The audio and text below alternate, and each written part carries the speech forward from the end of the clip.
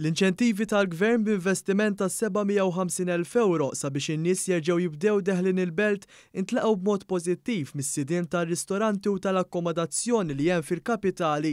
Il-kulanna tal-inċentivi li se jkunu mifruxa fuq it-tliet xhur tas-sajf mistennija jerġgħu jagħtu spinta lill-ekonomija tal-Belt Valletta. F'kummenti ma' dan l-istazzjon, iċ-Chairman tal-Boutique Hotels tal-Belt, Andrei Imbroll, u li hemm imsieħba fiha 50 post ta' akkomodazzjoni u disa' ristoranti fil-Belt, faħħar dawn l-inċentivi posittivi li se jerġgħu jagħtu ħajja lill-kapitali Maltija. Konna kuntenti ħafna bil-miżuri li kien hawn. Żgur li ħa jagħti inċentiv lill-Maltin biex jidħlu l-Belt. Il-Belt, li hija l-Belt Kapitali tagħna u hija Xi ħaġa tant għażiża għall-Maltin.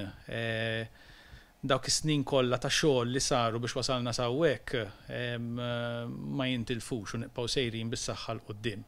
U hekk kif ftit aktar minn ġimgħa oħra ser jerġa' jinfetaħ l-Ajruport Internazzjonali ta' Malta, Imbrogħol qalilna li diġà bdew jirċievu diversi talbiet minn turisti biex jibbukkjaw appartament. Saħaq li l-inċentivi tal-Gvern Albert se jkomplu jgħinuhom isaħħu l-preżenta tat-turist fil-kapitali. Għar-run up tal-V18 jiġifieri u anki dawn l-aħħar sentej, il-belt dejjem baqgħet b'saħħitha. Jiġifieri appena tħabbru li ħa jinfetħu l-airports mal-ewwel bdew diħlin il-bookings.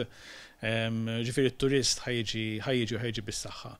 Fl-istess ħin anki dawn il-miżuri li ttieħdu reċentement fejn l-aċċessibilità għall-belt ħabba fil-ferry u s-CVA u dawn l-inċentivi kollha li tħabbru dika ħa jgħin ħafna l-belt. Ftit tal-jiem ilu l-Kap Eżekuttiv tal-Awtorità Maltija għat-Turiżmu Johann Buttigieg żvela ma' dan l-istazzjon li fl-ewwel ta' Lulju mistennija jaslu Malta ma' 3,000 turist minn ħmistax il-pajjiż differenti.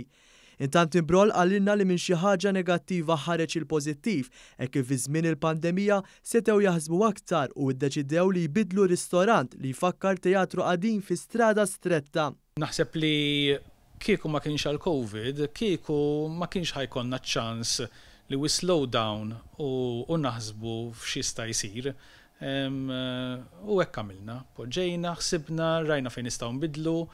L-isem is-Silver Horse li kien qisu qed jintilef, iddeċidejna li nerġgħu nqajmuh u konvint li ħa jkollna suċċess. André Imbrogħol temm jgħid li minn ġimgħa għal ġimgħa l-preżenza tal-Maltin f'ristoranti u stabbilimenti fil-belt qed tkompli tiżdied u dan grazzi għall-ħidma tal-Gvern sabiex l-ekonomija Maltija terġa' tirpilja wara l-imxija